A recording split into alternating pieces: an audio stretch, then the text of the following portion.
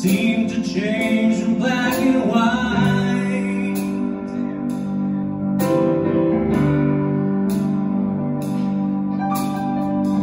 I'm growing tired,